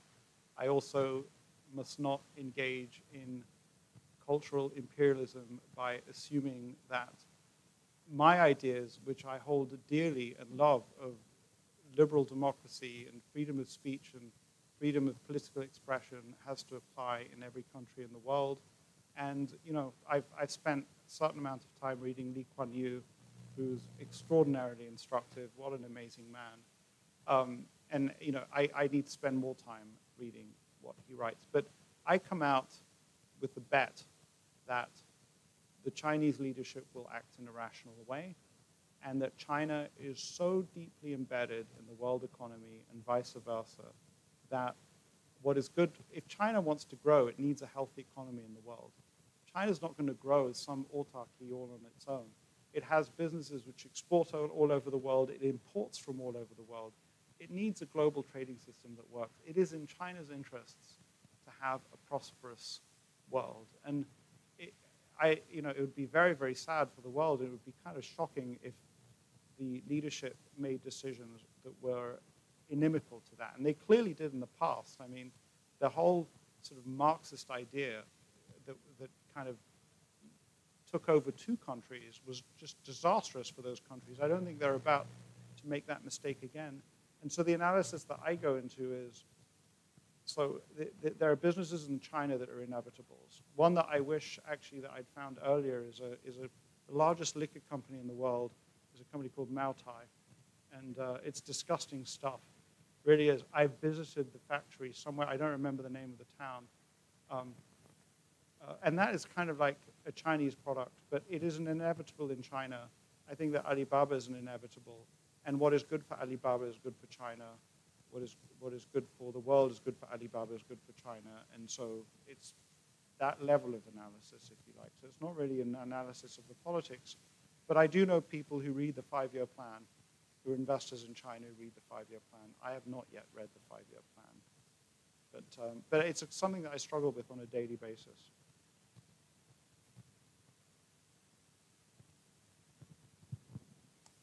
Hi, thank you. I was just wondering if you talk a bit more about why you never short things. Oh yeah, great pleasure. Why do you short things? So, so shorting stuff is a fool's game. Firstly, just from the simple mathematics of shorting, uh, if, um, so two simple ideas about, so if a, a stock is at 100, um, uh, I can buy it and you know, I can make money multiples. Go up to, and there are companies who, who, who, where the stock price today relative to 20 years ago is many multiples of what it was. And there are businesses that just go through time and, and, and become businesses that are 20, 30 times larger. And if you, if, you, if you factor in share purchases, that doesn't mean that the actual business is larger, but the share price increases by that much. The maximum you can make by shorting is 100%. Uh, you can make, it because you could, stock can only go from 100 to zero. And then if you short, the amount of stock that you have to, and I'm sorry, I'm, I'm, I'm not I don't even know if I could do a good job of explaining the mechanics, but at some point you plan to make money by buying the stock back. So you sell it at 100 and you buy it back at 50. You, know, you made 50% on the money that you committed. Or you buy it 100, hopefully maybe it goes to zero, then you buy back for nothing and you make all 100 that you sold short. Uh, but as, you, as it goes the other way, and it often does, then um, uh, you know, 100 goes to 200, goes to 300, becomes an increasing size of your portfolio. So if I buy something and make it 5% of my portfolio and it goes down, now it's two and a half, it's dropped by 50%, and then it drops by another half, and, it, and so it's becoming a smaller and smaller and more and more insignificant part of my portfolio. By contrast, if I short it and it goes up, uh, it's becoming a larger and larger size of my portfolio. So uh, the people who short are constantly on edge, are constantly watching the movements of their stocks, are constantly worried about a piece of news that will come out, out that will go against them, will drive the share price up and force them to pay closer attention. It's not a fun way to live your life, and it's not a smart way to run a portfolio. So I want to run my portfolio such that I can fall asleep for two weeks, and when I come back, it should be more or less the same, which you can do with anything that is kind of like going to unfold in a positive way over time, or you have that expectation. One last point, that the trend of the stock market is to go up. So by shorting something, you put yourself against that trend. I can also say that I, you know, I get a headache if I have more than 15 positions in the portfolio. The only way you account for risk from shorting is that you need to have lots of, lots of small positions. And that just you know, that multiplies the amount of work and the number of things that you need to keep track of. So, but you know, I just tell you, I want other people to short. That's great. It's just that I don't want to short. So, you know, on some level, the stock market is a zero-sum game. So it's okay for other people to short. That's fine. It's a free world. Go ahead. But you know, another way of seeing the stock market is, is, a, is a, it is a mechanism by which money is transferred from the ignorant to the wise. And so you, you know, I mean, it's not a very nice way of looking at it. And I, you know, from a moral philosophy standpoint, there's a real question of what the hell am I doing? Because it, to the extent that the world's wealth is zero sum, then all I'm trying to do is accumulating a slightly higher proportion of it for my investors. Is that a particularly moral activity? Possibly not. The one thing that I can come up with is I can say, well, I'm trying to provide better stewardship and that the companies that are in my portfolio will make better capital allocation decisions because I'm a shareholder and I'm behaving rationally. So there are, there is a case that I can make. But, um, but there's my argument for not shorting. And I shorted three stocks, made me super unhappy, and now I'm far happier. So. Uh, thank you, Guy, for the incredible talk. Uh, I thought I'd ask about this investment because it's from my home state of New Jersey. Um, so how has your experience investing in Horsehead Holdings changed the way you invest? Are there new things you've added to your checklist, uh, new red flags? Yeah, so thank you. Thank you for brought, bringing up one of my, what is my most painful mistake, probably. Uh, I had, and it's good, it's good to rub your nose in your mistakes, so thank you. Thank you for telling me I suck. You know, you see, in other words, he just said, hey, guy, you really suck. You know, just let, let me, let's see if you talk about it. So uh, I put, um, so I was running about $200 million at the time. Total amount invested was about 12 million. Uh, it appreciated to be as high as 18 million, and then uh, it went to zero. and um, so in, in our case, so this, so I talked about how people always want stuff, uh, the stuff more cheaply, cheaper, and slightly esoteric, but this is a company that recycles zinc and it does it through uh, taking the um, uh, waste material from mini mills. So mini mills are a way of making steel where you recycle old steel. I don't do anything in metals anymore, That was one big lesson. I don't do anything in commodities. But um, so they would recycle that zinc, and they would do that using a, um, a, uh, a burning process. They'd put it into a furnace.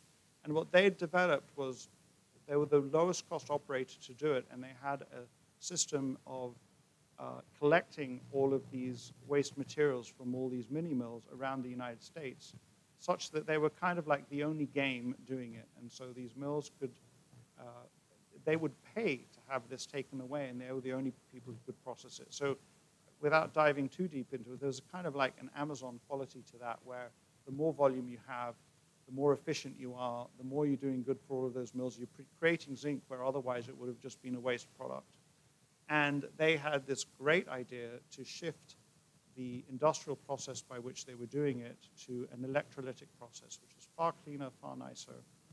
Uh, and but they borrowed money to do it. They should not have borrowed money. They should have done an equity raise. That set up leverage on their balance sheet. And over time, uh, it took far longer for them to develop this plant. It was far more expensive and took far longer. And a vulture fund bought up without, so, so in the sorry, this is like into the weeds. So some people might be zoned out. I apologize to you, but in the equities markets, they're high, they're far more regulated, and if you engage in insider type transactions or transactions with the company, or if you become a shareholder above a certain level, you have to report that to the market. The market has the right to know.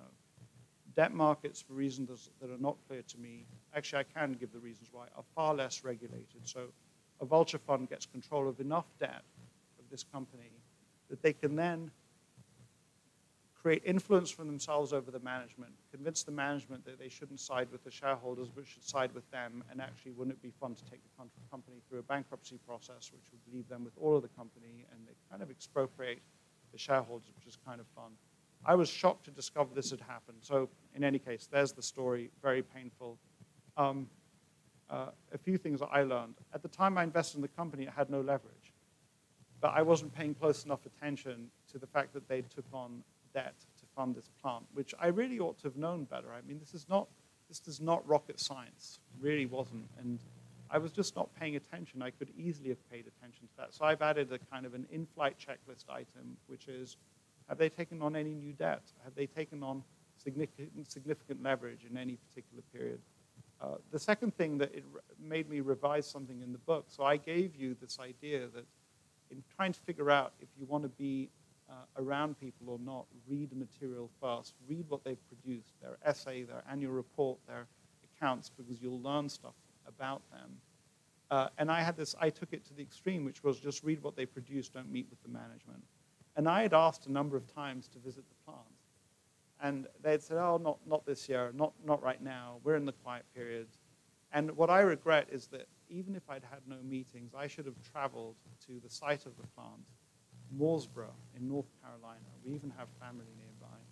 Because I think I would have learned stuff by kicking the tires, even by being in the Starbucks outside the plant, because I would have talked to somebody who'd come out of the plant. I would have bought them a coffee or something. So um, you know, the, the kind of like in the weeds kinds of lessons, but pay attention to whether take, somebody takes on leverage. I just go briefly to something that Warren Buffett told me at the lunch that I had, which was really shocking. He said he didn't ever want to take on a lot of leverage because he didn't want to discover what kind of behavior he's capable of. And that's Warren Buffett speaking. So why was I not paying attention to this company taking on leverage? And, um, uh, you know, I have this, so I need to do a second edition or something, rewrite that chapter in the book. I say, don't meet with management. That's a really dumb idea. So, you know, yes, meet with management, seek to meet with management, seek to learn as much as you can from wherever you can. So, you just want your phone back? Or no? Anything good on it? No? Uh, Guy, thanks a lot for a great talk. Um, so I just have some questions regarding your um, comments on the shifting world order, you know, the shift away from the U.S. at its center, along with its liberal allies, towards something more uh, multipolar, I guess. Um, how do you feel about the macroeconomic situation in the Western economies, regards to you know the public uh, deficits, the rising leverage, and the current account deficits you often see, especially in the U.S., EU, UK? Do you have any comments on that? Does that worry you? Yeah. So um, I don't think that it has any impact on the way we ought to invest or the way I'm investing. Um, we would all like the world to be like Switzerland, which has very, very good public finances, in which uh, both local and the federal government, I haven't looked at it recently, often run at a surplus uh, where they carefully look see how they fund every single little bit of expenditure.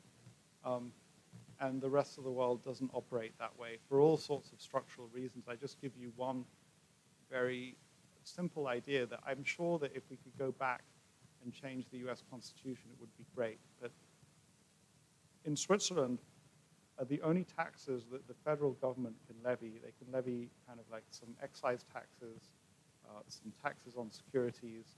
What they cannot levy is uh, income taxes on the population. The only entities in Switzerland that can do that are the cantons, or the equivalent of states in the United States.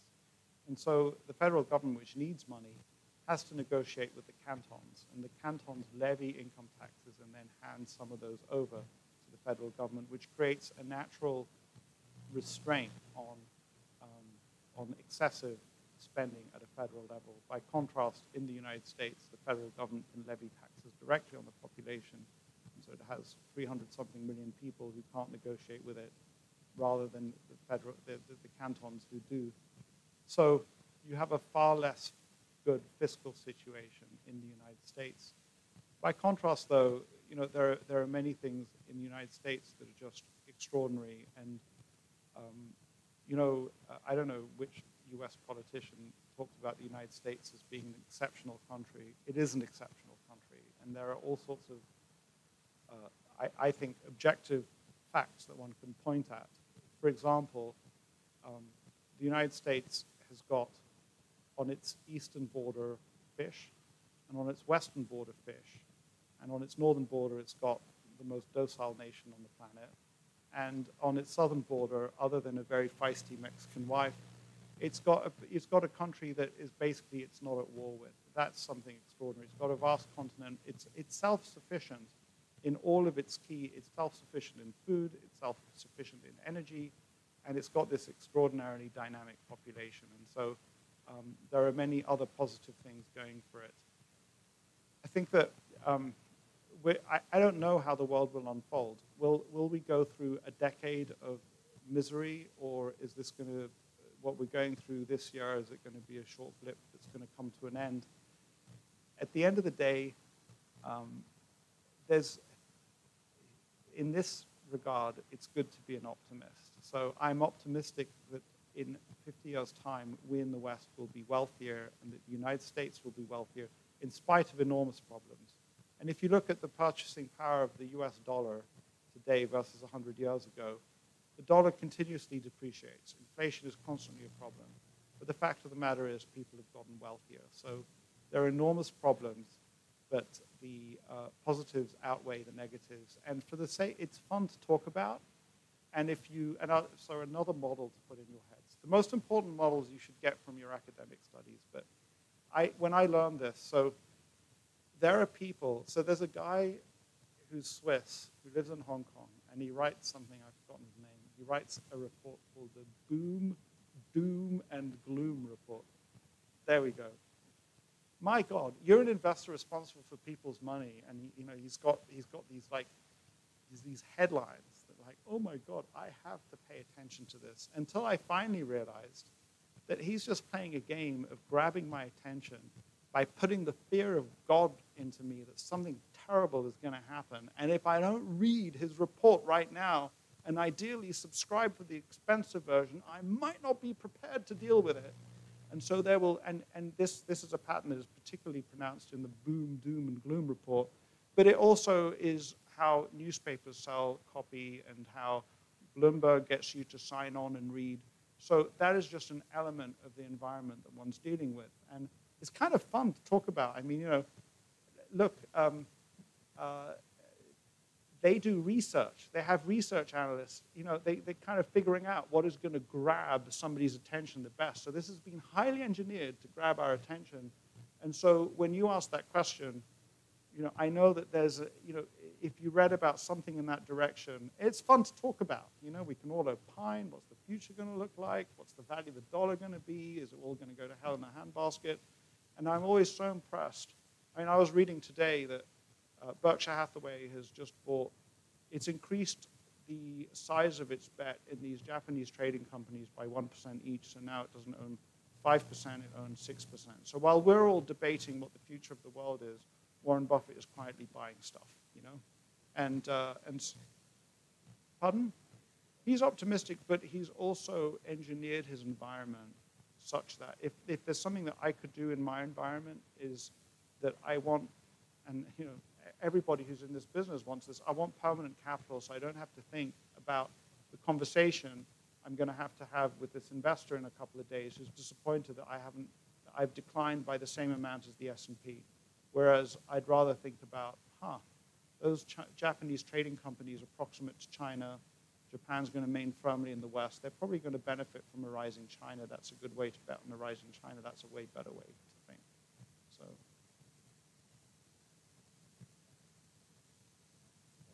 Um, thanks very much, Guy. This is an industry professional here. So well, me, um, no, it's it's fascinating just um, hearing your perspective, and thank you for speaking so honestly. A lot of points uh, resonated with me. I think particularly around working with people you respect and, and doing something uh, you really enjoy. And I hope people in the room who are still at university now find that the investing world can, can, can do that for them because it, it is fascinating. On that front, I am, I am going to say you're being very modest about your book. Um, if you haven't read it, it is really, I'd highly recommend it. Um, it's, it's, it is absolutely excellent. So, and um, it's a brilliant intro uh, into investing. And I, I, would say you compare it with Morgan Housel's The Psychology of Money, which, which is also a fantastic book. I don't, don't know if he's, he's sold far more copies than mine have. Well, I'm, I'm, I'm, I'm, trying to do my bit to help you catch up. Thank you so much. I, I will never catch up with Morgan Housel. no, he's a phenomenon. Um, it, my question, and, and I, if you've spoken about the, the, Chinese names and alluded to them today, so maybe we park those for, for the sake of this question. Um, but you know, investing is about this combination of you know, quality of company and price you pay for it. So my question would be, Chinese names aside, what is the investment you have today that you are most excited about that is the most sort of controversial or difficult to explain to clients? Well, I, I try not to explain any of them to clients. I just say, here's what you got. But, and, um, but actually, we've, we've relented on that a little bit, so there are some client conversations. I mean, and I don't think it just comes down to uh, price and quality, although obviously those are two really key criteria, because some, some companies present a very broad range of outcomes, and some companies present a narrow range of outcomes. And is it broad? Um, does it cover a negative? Is, is the range of outcomes so broad that it could turn out to be a zero, in which case maybe it should.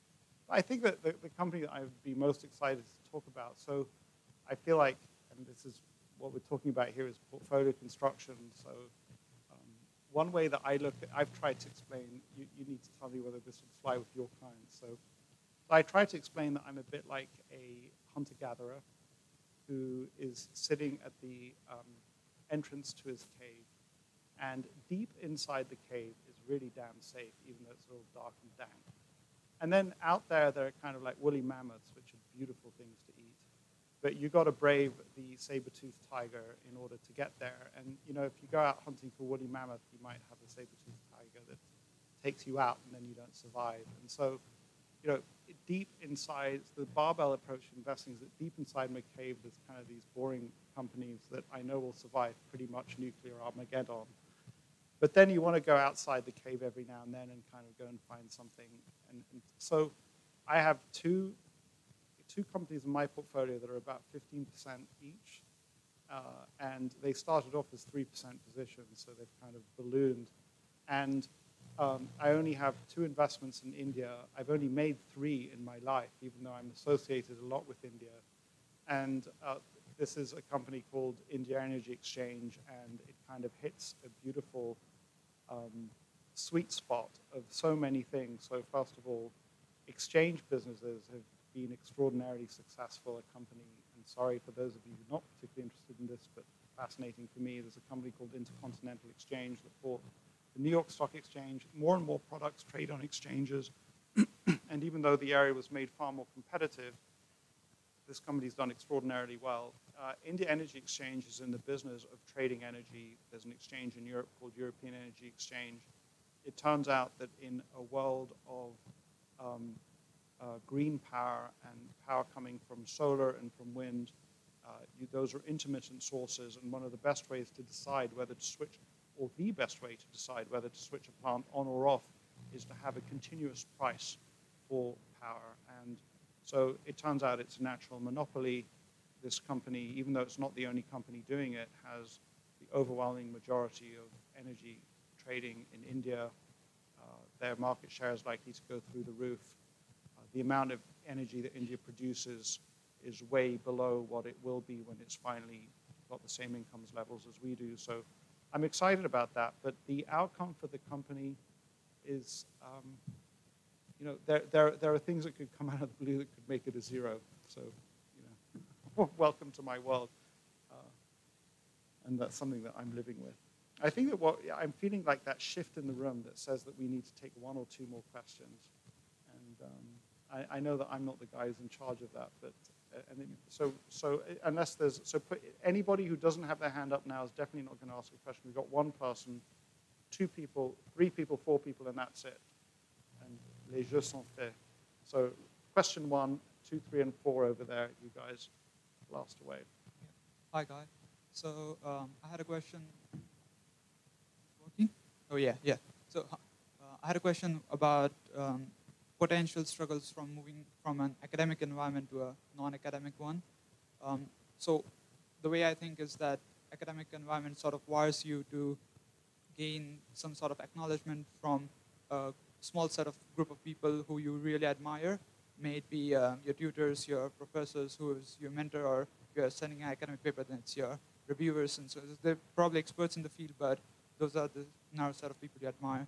And then, um, so at times when you're moving into something which is no longer, let's say, um, like investment is some sort of an art, not an entirely a science, um, how did you come to create uh, original ideas and also gain confidence in them? Because none of the ideas are going to be entirely original, they're going to build on some other people's ideas. But then how do you dissociate, let's say, just not adding value to an idea because it's by someone who you really admire, but judging it based on the merit of its own idea. Even your own ideas compared to someone else, you might be at odds with someone you admire and so on.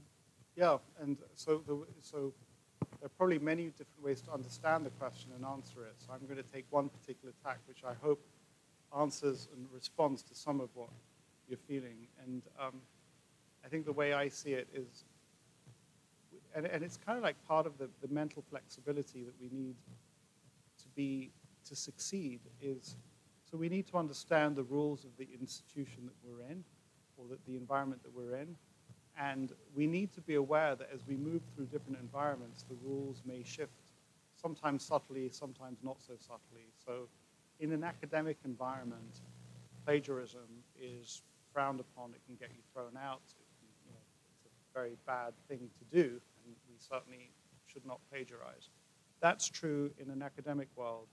It is absolutely untrue in the business world. So, you know, Mohnish Pabrai famously, famously calls it cloning, but another word for it is, well, it's not really plagiarism, but it's, it's looking for the best ideas and copying them. And there's absolutely nothing wrong in the business world unless they're protected by some kind of intellectual property, but the vast majority of them are not. Uh, so that, that's the first place and then the second sort of like rather liberating attribute of the world in which I operate is that um, I don't need the approval of my peers as much as I need to show results on paper. If I can show results on paper, then the approval of the peers will come, if you like. So, but I think that what comes up for me as you say that is that I think that too often we don't realize that the, the rules where we're operating are a different set of rules to the ones that we think are the rules.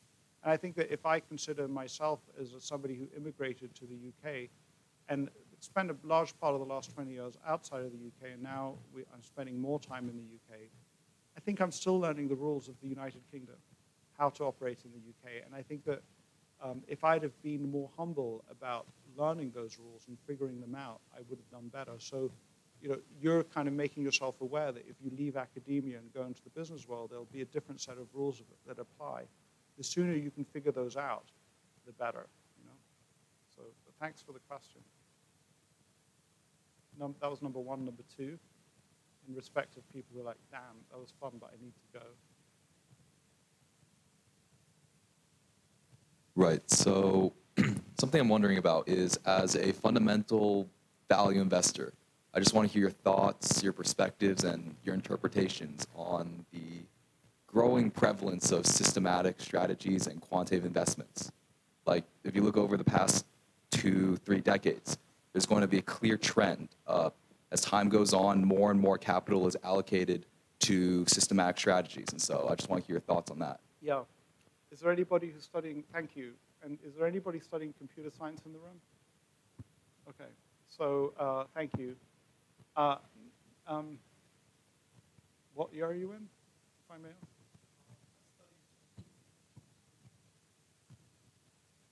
Okay, so I, I've just tried this out for a second, see, what, see if you come up. So um, I want you to write a software program, or somebody you know to write a software program that is going to examine a social network which has 1,000 individuals in it, so 1,000 nodes, and uh, you know, it, it randomly allocated edges, which would be a connection between, and the software program is going to examine each one of those nodes and edges to see what attributes they have.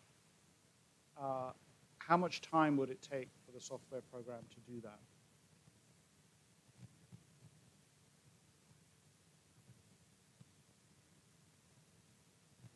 So, so that, that's, thank you. You gave the answer that I wanted to give. Now could you explain what that means to everyone who didn't understand it?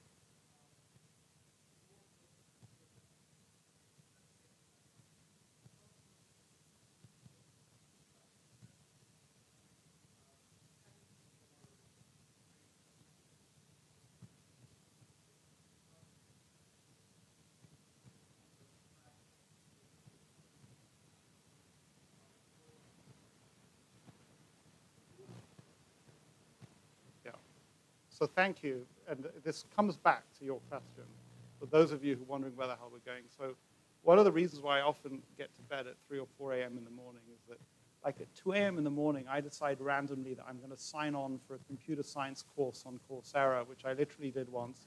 And this is lecture one in this computer science course. And here's what just blew me away. So, you know, a social network with a thousand people is not a very large social network, but it turns out, at least according to this lecture and confirmed by my Austrian friend in the back of the room, who, unprompted by me, gave the, the, the, a similar answer, would require effectively infinite amount of computing power, or more computing power than we have. So what I learned about computer science is that a big part of computer science is to figure out what problems can we solve given the computing power that we have, because it's very easy for even a layperson to configure or to define a problem such that you would require infinite computing power. So, so uh, uh, systemic trading using computing algorithms. Uh, this guy, Simon, mathematician, I can't remember, Jim Simon, he's got Renaissance. He's uh, done something extraordinary. As I understand it, he's doing it in very, very, very short time frames. So he's looking at movement of security prices in um, milliseconds and developing trading strategies with the help of computers. So he has managed, as a mathematician, to define uh, a mathematical problem that he can solve that enables him to make money. And it's, as I understand it, not because I'm in it, it's combined with, for example, having your computers hooked up to the right exchange to get the information soon enough. Uh, and it's not a world that I understand very well. But so at a very, very short time frame, he's managed to do something and he takes up a certain proportion of the market. When people uncover things that they can do, they make so much money that very soon their problem is, is that they can't deploy the capital at those high rates of return. I think that given the nature of uh, computing and the vast number of problems that there are to solve, that world may expand, expand just a little bit, but I think there will be plenty left for the rest of us. I'm, that guy is operating in terms of micromilliseconds and, and exploiting price anomalies. I'm operating in terms of years. And I had this idea, and sorry to dive into the weeds, this is fun for me. What if you could write an AI that could analyze all the text output of every company and figure out on its own through machine learning which companies would generate uh, a high return for their investors and which would not. And I figured out through some of this computer science, and I really just listened to the first two paragraphs, and then, as my wife knows, my interest moved on to something else, and I never finished the course. Uh, but how great is Coursera that you can do that? Um, I figured out that, that it was you don't have enough data because you know just to do self-driving cars, the key limiting factor is the amount of data that they have. They just don't have enough data, and there's certainly not enough data when it comes to companies. So I think that you know long, long question cut short. Uh, it's amazing that Simon with Renaissance Technologies has done what he's done. It's a small world of very rich mathematicians, uh, but there's plenty of space for the rest of us. And if it's a world that you want to get into, you know, it's not going to do much for the public good, but it's not a terrible idea to live a great life if you're a good mathematician. So thank you for the question. I hope that's helpful. Two more, and then I, we, we're released.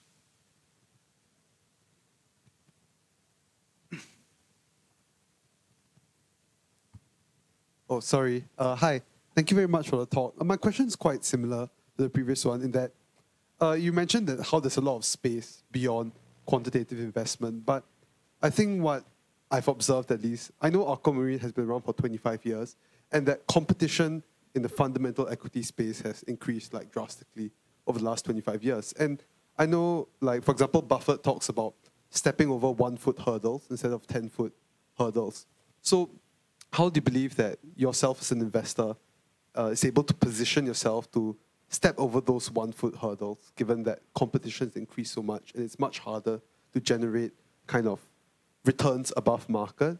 And in the same vein, is there a new area that you think where we can return to the equity markets of like the 60s and the 50s, where there were one foot hurdles all over the place? So thank you. So um, somebody here, you, you asked me about Horsehead because he wanted to like put some pain onto me.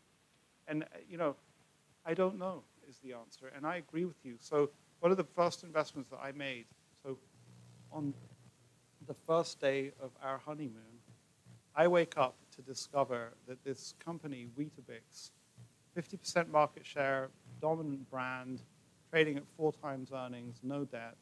It's wonderful, you know, family-owned business in, with some publicly traded shares is being bought out for like three times the price I paid for it, and it was so freaking easy, and like none of that exists anymore. And you're right, everybody's a fundamental investor, and I also have significant. Um, it's also, you know, if I had permanent capital, my life would be easier, and so. I don't know the answer to the question, but I find myself in the business that I'm in, the place that I'm in. The way I had an investor say to me, that uh, the reason, you know, he, he was disappointed, mildly disappointed that I hadn't outperformed the S&P by much, but he would not have invested in equities in the first place had he not invested in my fund. So I kind of can justify the fund even if I end up not outperforming the S&P by giving some people, at least in my circle, the confidence to invest in equities where they wouldn't have otherwise have done. But you ask a great question, and I wish I had a good answer for it. I don't. I think that um, my, my goal is to build an environment. So uh, through the people I have in my life, through my work environment, through the kind of investors that I have that perhaps will give me a behavioral advantage rather than an analytical advantage. But, but you know, it's, it's far less than I would like to have. But, you know, that's what I'm faced with. And I'm, I'm comforted a little bit by these words of Charlie Munger. It's like, this isn't supposed to be easy. If it was, everybody would be doing it. And, um, but that's a real challenge, real challenge. I wish I could tell you I got one foot hurdles to jump over. I don't. You know, I'm looking for them. If you see them, tell me. so, thanks for the question, and thanks for like inflicting just a little bit of pain, reminding me. but at last question, thank you. Um, yeah, thank you for your time. I was wondering, with the rise of the retail investor and also of ETFs, where you can just for very low fee invest in a whole index or uh, a whole industry. How do you think that's going to affect mutual funds, which have much higher fees over the coming years? So um, uh, ETFs is kind of like this broad, as I see it, is this broad range. It's got something that is really superb and excellent, which is the ability to invest in indexes at a very, very low cost.